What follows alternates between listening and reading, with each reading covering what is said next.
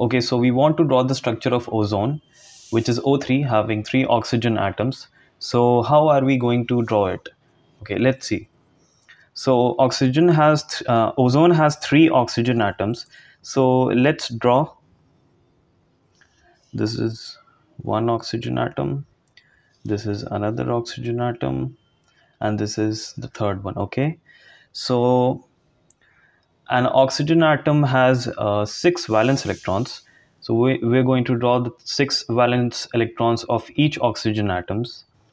Uh, okay. One two three four five six. And for this one also. One two three four five six. And same for this. One two three four five and six. Okay so uh, in order to gain stability each oxygen has to have eight electrons in its valence shell. As you know uh, the electronic configuration of oxygen is I'm sorry it is 1s2 2s2 and 2p4 okay? So the valence shell the second shell has 4 plus 2 6 electrons okay? 6 electrons right? And it must uh, gain plus 2 electrons right? Okay so this one has 6 ele uh, valence electrons and this one also has 6 valence electrons. So what we can do is these two will create a double bond okay? Like this here one bond and the second one okay now this one has gained stability. It has eight valence electrons. This one this one also has eight valence electrons and we can count it as one two three four five six seven eight. Done. Now for this one one two three four five six seven eight. So these two oxygen atoms have gained stability. Now what about this one? Because for the formation of ozone there are three oxygen atoms. So how are we going to fit this one into the whole molecule the whole um, structure.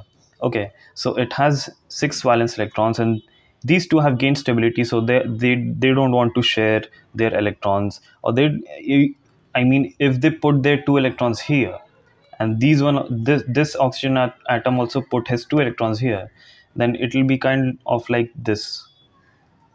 Uh, two from this one and two from this one and double bond. But you'll see that this oxy oxygen atom will actually have 10 valence electrons. 1 2 3 4 5 6 7 8 and 9 10 so an oxygen in the second shell uh, the maximum valence, valence electrons can be 10 so this is not possible.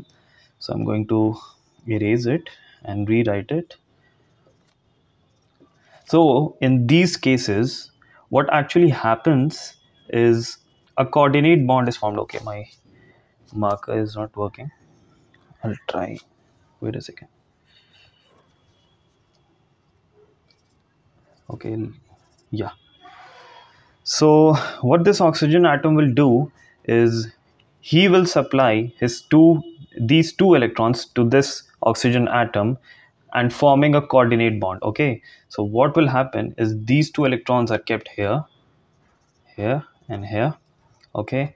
And now this valence uh, this oxygen atom has 1 2 3 4 5 6 7 8 that's that was pretty known to us before also but now you can see this oxygen atom has 1 2 3 4 5 6 7 8 and this bond is represented as if you can see if if if i'm going to write this oxygen atom here here and this one here okay? So it was having 1 2 3 4 5 6 valence electrons and these two electrons are represented as this. This is called a coordinate bond. I hope you guys found this uh, video informative. Thank you so much. We'll see you next time